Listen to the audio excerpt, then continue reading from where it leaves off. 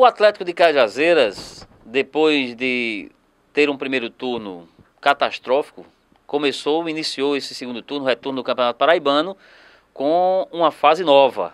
O time já venceu duas partidas, venceu o Botafogo na estreia do retorno e neste domingo venceu a equipe do Alto trazendo esperança e alegria para o torcedor atleticano, o torcedor sertanejo, que aguarda com muita expectativa os próximos jogos. O Atlético voltará a campo na quarta-feira, aonde enfrentará a equipe do Campinense.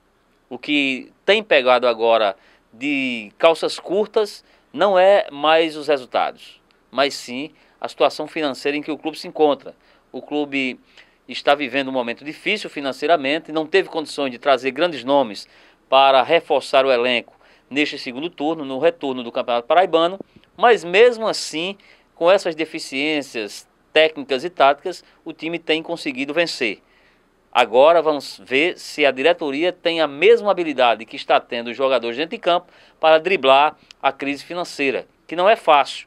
O time está devendo a folha do mês de fevereiro, também com pendências junto a alguns credores, mas a diretoria, através do presidente Júnior, tem feito esforços para colocar tudo em dia, mas o torcedor do Atlético precisa ajudar. Essa é a hora do torcedor atleticano chegar junto do time para que o time possa fazer um bom segundo turno e aí, quem sabe, até recordar, reviver datas áureas como foram eh, em 2001, onde o time foi vice-campeão, campeão do segundo turno e vice-campeão estadual. Em 2007, quando o time também foi vice-campeão do segundo turno e campeão estadual. E como em 2002, que o time foi campeão paraibano.